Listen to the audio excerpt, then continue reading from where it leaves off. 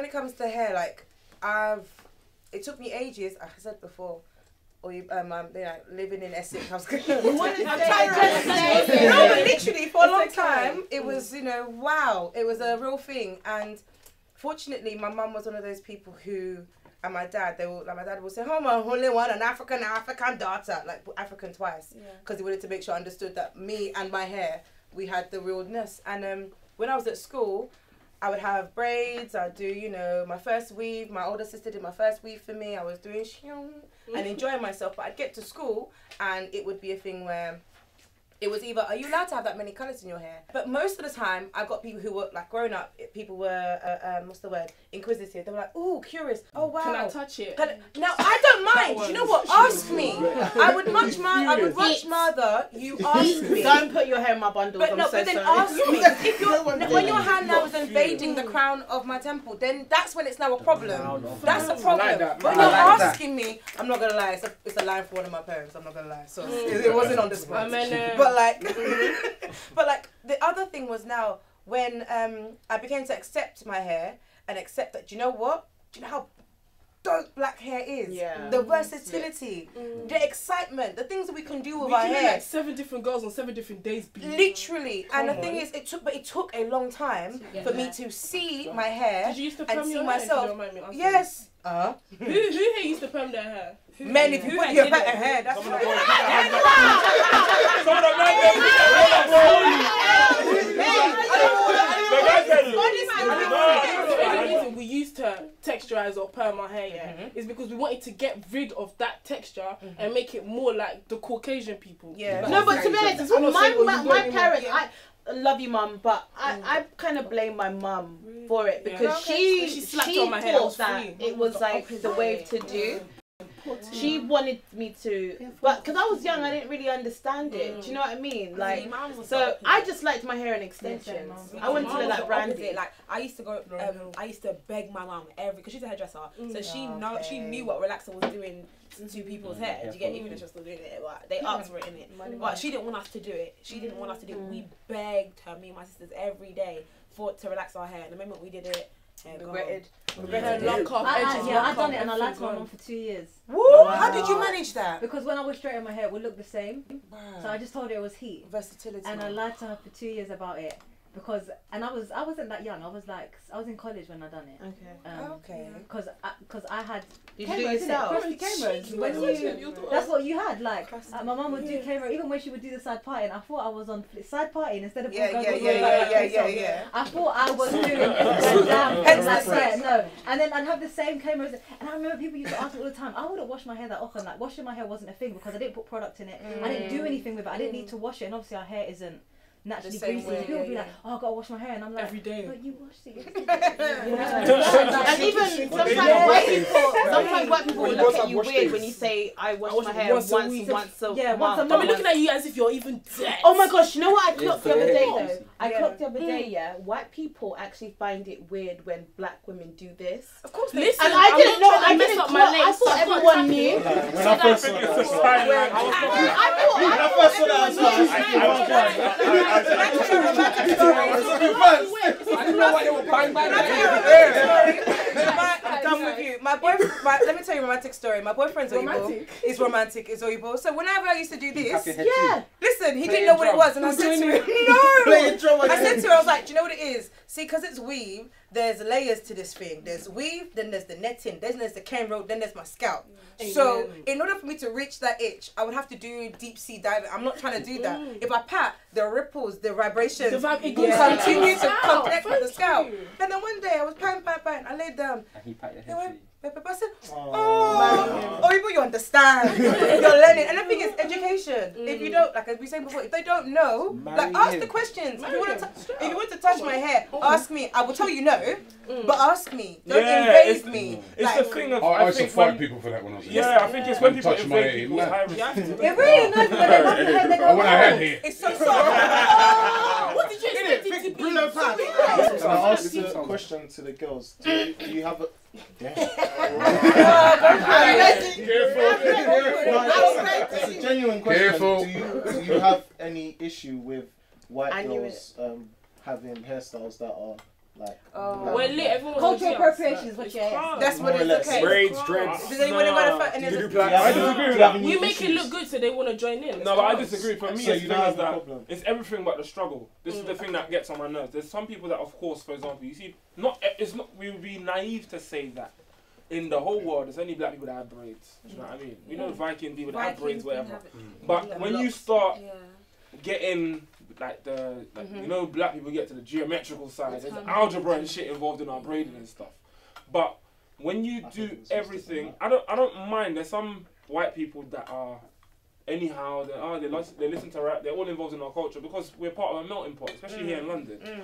however when you assume that but there's no there's no dialogue with the people of that community you have to be kind of Mm-hmm. understanding you need to ask questions you need to kind of be basically there But like- shouldn't you be happy that other people are Yeah. looking at our I'm happy. and Well, listening However, to the thing us? is- I'm happy. I'm happy. I'm happy. Wait, let me Oh, answer. no, it. I, I'm happy, but again, I don't like when everyone's when it, something's happened to black people, to the actual black person, they have nothing to say. The thing They have is, nothing thing to is, open their and choose it. say. I don't mind- They, they pick and choose what they want to listen to I don't mind want to do. a white person having um, dreadlocks, for Mm, example. mm, mm. But if I if if a black brother is walking down the street with dreadlocks, he he he, he, he looks scary or It's whatever. But when it's on a white person, they don't look That's what- scary. that's- That's, the only that's Yeah. the only issue. And they I start have. For to example, Kylie Kylie Jenner. I was about to Can give an I give you an example. example? Go on. Yeah, This really Yeah. annoys me. This really annoyed me, and Mm. I don't know what I would do in this situation. But when you're told about it, you imagine you'll be like, "No, are you dumb? You're not telling me that."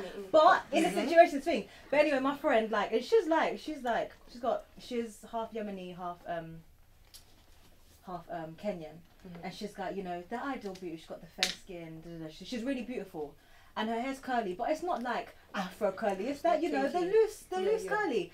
She worked in Burberry, and he said, and they wouldn't let her wear her hair out natural. They would not let her wear out. They wouldn't let her wear out natural. And her, her manager said to her, "He was like, yeah, when I worked with girls like that in Dior, I would pay them money. I would give them. I would pay for them to go and relax their hair. What? See, and that's that's schools. No, see- schools that's an issue as well. A lot of a lot of young black boys. Yeah, been especially even can't- you recently. have- even like um, Yeah. I remember I was in pri- I was in secondary school. I was banned from we had like this every summer. Yeah, that yeah activities week. We could. It's not Yeah. real schools that you're you're going out to trips and Not allowed stuff. to go. I was banned because I had I put um, borders in my hair.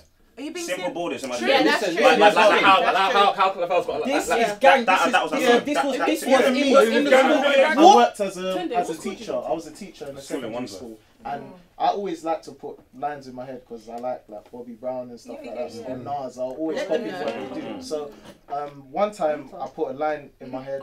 Came into school, all my kids are like, "Yeah, yeah, sir, you look sick, you look sick." Then the assistant head teacher comes up to me. You. Oh, sir, you're looking very um, Jamaican and exotic Wow. today. No, no, no. He no, gave no, you no. a destination. Yeah, He told you yeah. where you were from. And the I thing is, as, you. as as said, yeah, when you always think when someone says that to you, you're gonna be like, "What? Like, are you mad? Are you You mad?" want to keep your job. was, I was just so You're like, like, you're like, what? You're in the in like the minute she of it. You're yeah, kind of I like just started there. laughing with her. Like, Yeah. yeah, I was just that's saying. Mr. Krabs a. No, but you Yeah, get yeah, it. yeah, It's a yeah, real yeah, life. yeah. When you're just- I was like, I was like that SpongeBob, Mr. Krabs. Yeah, I was- you, I said that. No, it's not a topic It was loud when you said it. It was loud when you said it. But yeah, I was, I was so rattled when she said it. All I could do was laugh. But then I was thinking, like, I see all the all Yeah. my colleagues, the mm-hmm. white ones, they all have parties in their Party, hair. yeah. that And quicksand. Yeah, and they've that used- they've used gel to put the same line that I have, but mine It's makes me Oh no, Jamaican. The hair understand, designing. understand. That's- yeah, that's it's mad problem. yeah, because I was deep in this stuff. There. I remember I was looking at like hair tutorials on YouTube. Like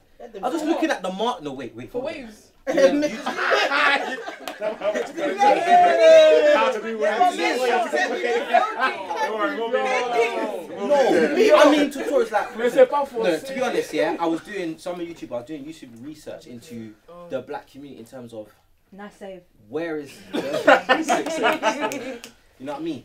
I realized every hairstyle that you see here on white men has actually originated from black men. Like the mm-hmm. hairstyle, the whole comb over and the slit here. Right. That's just when they used to do like the high top, and then you have like a little Right. slit there Mm. or the little thing. Mhm. Everything it's just been transitioned. Even to David Beckham, all the hairstyles. He'll go to different countries, pick up a hairstyle. Mm. Now he's the hairstyle pioneer. Yeah. Whatever he gets, boom. That's, That's, what how it's getting. always been. Because even if you look now, so we're saying, um, I was saying, oh, how do we feel about how specific? How do we feel about um, you know, white women or white men, um, um, well, white women specifically, take on or adopt black hairstyles, quote unquote black hairstyles. I say quote unquote because huh, Yeah. in the comments they'll be just doing styles. But this is not Yeah. black. So It quote came from unquote, Scandinavia. but I know, I know, I know, I know what. I know what the pictures say about Karina. Yeah, okay. And um, like you were saying before, that you know, on our brothers, on our sisters, it's dirty, it's this, it, prote- it, it perpetuates this particular stereotype. However, when Marc J- Jacobs reintroduced canerows, and when um, well, when It's Katy Perry decided to do patina, patina, patina, patina with colour in her hair, it was now, oh my gosh, it's so fashion forward. Yeah. They're making such a difference. I think that this particular style really, really can translate What do they call it? styles and lifestyles. They call it It's- uh, urban And chic. even not even urban-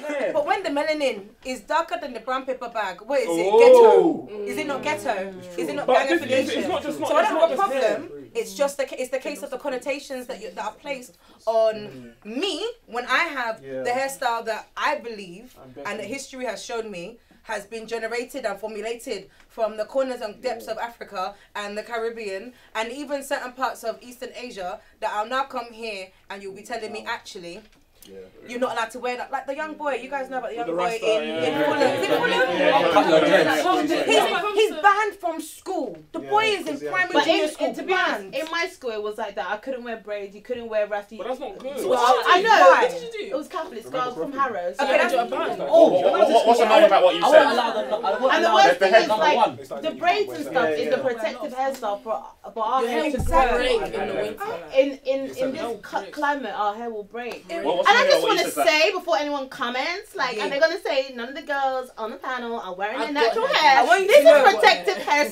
hairstyle. leave out. It's not. Um, it doesn't matter whether it's out or in. Is It it not natural? It's Can, not can you imagine the head teacher yeah, that, that excluded this, this, this young boy? He's he's now said, oh, what he should have done, should have, if he came and showed me first before he applied for the school. So in a way, it's like you have to come and sit there and show your hair. Validate your. If validate your hairstyle, validate your validate, validate your dreadlocks, your canerow, even know how validate your curls. they validate- sound. These are the people that are teaching the common sense. yeah. This is the- Oh, wait, wait, wait, hear me out, hear me out. Because this is the thing that really it jars my soul.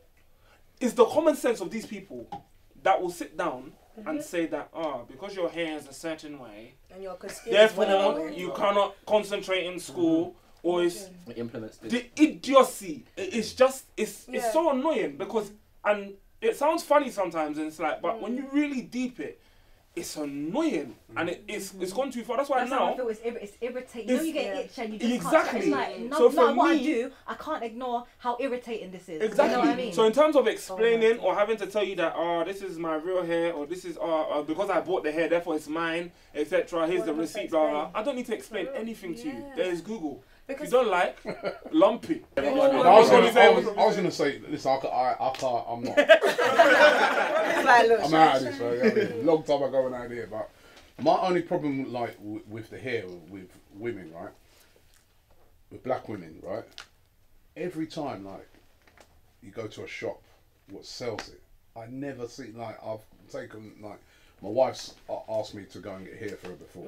that's love. I've never That's love. been. Real. Uh, You don't have to dig deep. They just tell you a number or something. you know? Colour me. Play for B. Play for Colour B. me. Colour B. Colour me. What I was Yes, going to say, Robbie. That's such the bra size. I'm serious.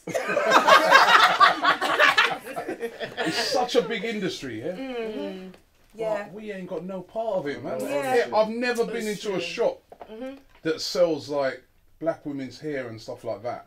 Nowadays. I think yeah. Black people. are- There was One one. in Lewisham. One. There was one in Thornton Heath called There was one Jack. Lewisham and I Well, couldn't they raised- say they raised the to rent. support and then I thought no. Two. Sorry, that's two. That's That's I think it got close. But then you're right. One What two. you're saying now is there's an influx of black men and black women who have decided to, who've seen what you said and said, you know what, I'm not going to waste money by um, by doing rent and mortgage and all that type of thing and having a, s- a, um, a business that's in a particular place. Let me do my online platform. Not know, forgetting, forgetting here, not even here. Black In products, States, uh, black oh. products for Yeah. your But hair. now- You Yeah, know, coming whether- up Asians, yeah. Asians have realised that their hair sells to our market. No, but Yeah. it's not the it's not the Indians. No, no, no, they, they, Vietnamese run the they, they run, they run the industry. We, we don't, we, we don't seem to, actual on the- on the we don't seem to own any of that. Yeah, I mean, we, we, you know, we, we consume it, But right? don't We, we it. consume it. We, we're the ones that use it. It's because we don't But provide f- it. find me, find me. Yeah. I, I, I'd say, I don't know. I've, Be free. I think I've only been to like one shop that I've ever seen And even then, I'm not sure if that was a, a if that was just black people up front in the shop. Yeah, because they Put do there. that sometimes. Yeah, they do. it- that. right, fine. and When I- just look on it and I say, this is a massive mm. industry oh, because yeah. women love their hair, but we don't own none of it. Yeah, but the Well, reason why the reason why we don't own none of it, yeah, is because when they first came out with hair extensions and hair weaves, it was not made for us. Yeah. It was not made for us at all. It was made for if you was a white woman and you had shorter hair, Yeah. you would add your clippings and you make it longer. We now took the clippings and sewed it into our Yeah, heads. we now became we're the innovative biggest consumers what- of it. with what you get was it? out there Because for we never started it. But then on top of it, Mm. but if you look at it for example, you can even take the same argument and look at for example, a lot of us were West African, we wear Hollandais, we wear um, Ankara and stuff like that. Oh, All don't that stuff is made in Holland. it's made at home. Yeah. Do you understand? Unless you go to Don't you think sometimes with us, right, that as black people, um, that again we're good consumers, man. We're the best. sometimes- We're the Because, best. because for instance, like Asian people, Honestly, we love, An Asian- it we love it. an Asian person, yeah, like let's say a sari. I mean, you, you think that right? What like us black people? We like own ninety five percent of the sari business. You would own none Yeah, but like you said about the saris, yeah, the saris are made like Yeah. by Asians for Asians. You get it? When it comes to the hair, com- like you could be any, you could be from any race and still have some sort of fake hair like inside of mm. your head. Do you get it? It's because they were made not for us. We just took the market and we abused it, and now we become the Actually, face. Like right. one, two, three, we are hair promoters. Like we can actually put it in our CV. Like this is what we do. This is what we get paid to do. People out there sitting down there laughing and saying, But you have Yeah. to Yeah. Why? You know what? You know what? No, but I also think it's, You know what? You know what? No, no. Yo, you lot here, keep by, man. We're nice. I also think it's You know what I mean? and, and, and the thing is, the thing is, they don't use, they will not use. I don't know. To me, I, I, I have a problem with it. I'm from Harrow, and I would have to go all the way to Harlesden, which is like I took a trek trot them seven sisters to go get And the like majority of black people- Because in my area it'll be extortion. And the it'll be, majority of like, people, crazy the prices. majority of people who live in Harlesden are what? black. Right? And how many of those shops that you then gonna go into to buy your products when you've come from Harrow? How many of them? How many of those shops are black? Look at the woman in Lewisham. She gave an interview. The fact that she had to put herself on media for people to understand exactly what she's had to experience with regards to owning the business that she owns in Lewisham. She said three key things. One of the things she said was, me being here, I've had countless of my Asian counterparts or businessmen that were stores around me come and offer me Money to buy bigger money to buy up my store because they do not want to see me in this space. They do not want to see mm. Mm. someone who thriving, look yeah. to be thriving. Not many people I'm going to Lewisham can tomorrow. say this. So what you're saying is very two, that's my true. But the No, I difficulty just is wait, true. no, wait. You know what I mean? No, I agree. But You know, the it's not. It's not just hair. It's, it's food. It's, it's, it's a lot That's what I was gonna say. Do you know what it is? Do you know what it is? A lot of these, a lot of these spaces and these businesses that these other ethnic mm-hmm. minorities do, mm-hmm. a lot of us sometimes we don't want to do. It's not cool. Yeah, do you know yeah, what yeah, I mean? be true. It's not cool to have your little corner shop. Yeah. No one's trying to be like, yeah, I own my own corner shop, brother. What are you telling me? Yeah. Man from the corner that. shop's Red driving a. Lambo. We're in It's the not red cool. zone, yeah. Yeah, at the end of the yeah, day- hear me. though. The man from the corner shop's dri- driving a Lambo. And the sun, sun exactly. Look at Bill Gates. He can sit down in his mash up sketches, whatever, sit down. He is one of the richest people in this world. A black guy that's an average even hundred thousand pounds. You will smell him before you. If you remember, actually. Yeah,